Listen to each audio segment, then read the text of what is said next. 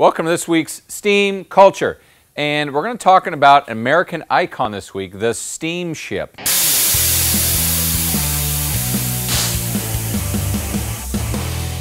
Now, many famous steamships in movies and historical events.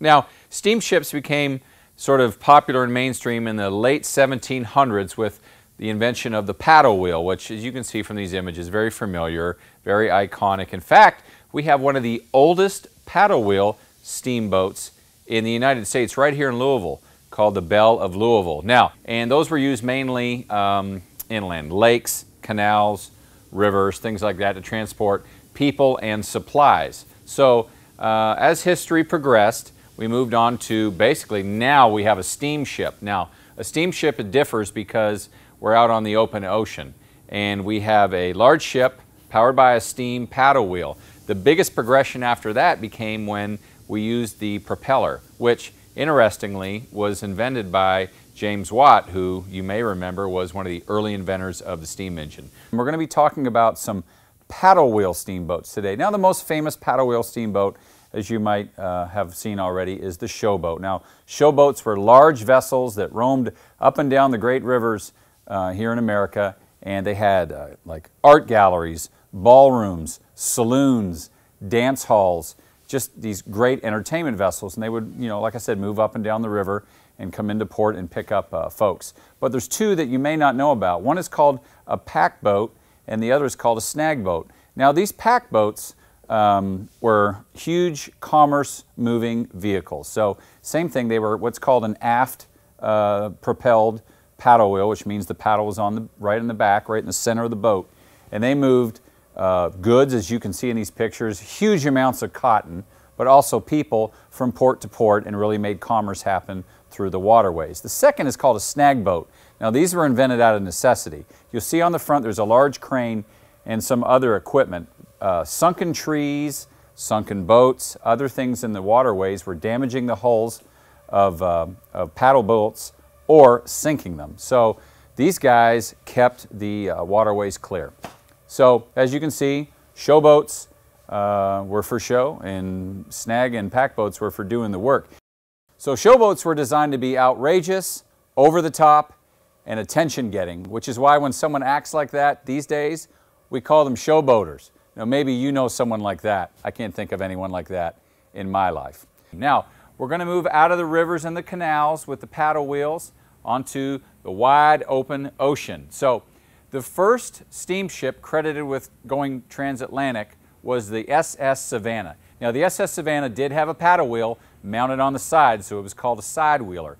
Also had a steam engine and a boiler located right in there. Now as you can see from these pictures, some unique design features. One, the paddle wheel actually came up out of the water because the Savannah would use the boiler and the, and the paddle wheel and the steam engine to get out to sea, then she would go under sail. So what happens is the paddle wheel in the water creates a lot of drag that the sails had to overcome.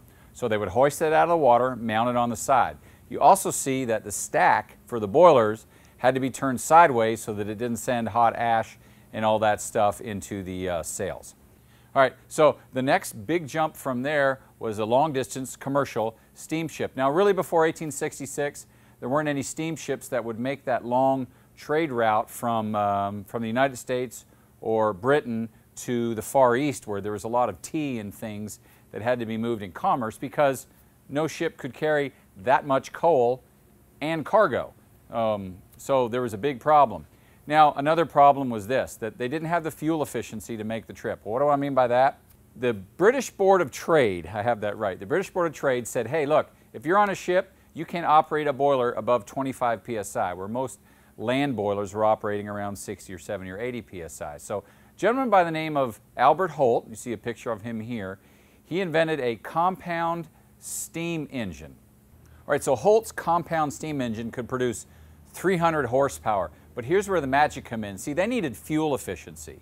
So, in order to do that, he convinced the British Board of Trade to allow him to operate at 60 psi, which is three times what they were operating at. More steam power, more energy per pound of coal used. So now they could travel 8,500 miles before having to reload on coal, which really opened up that shipping route. So that was groundbreaking. So just like everything else, like a plane and an automobile, they went from practicality to luxury. So from large commercial steamships, we ended up with these steam-bound ocean liners.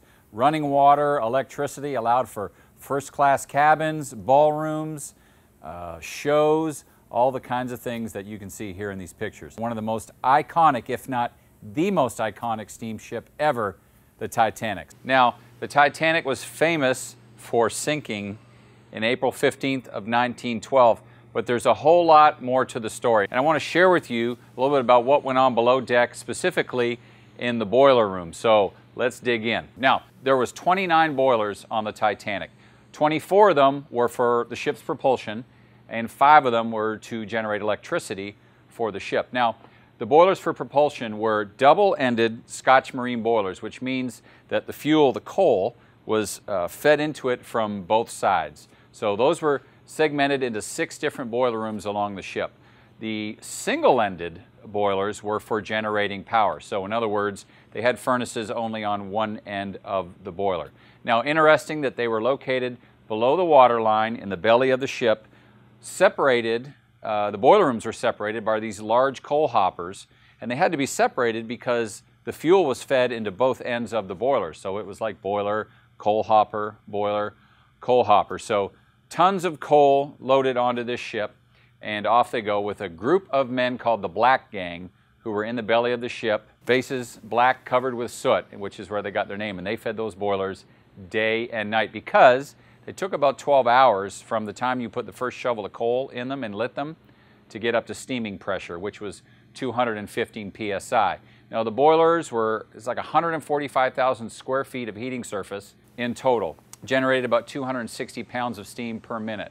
So these things could put out the power, and they needed it to turn these huge 24 foot diameter propellers that were at the rear of the ship. But let's talk about what happens now that we're, we're lit coal. You've got to get rid of all that exhaust. So interesting system.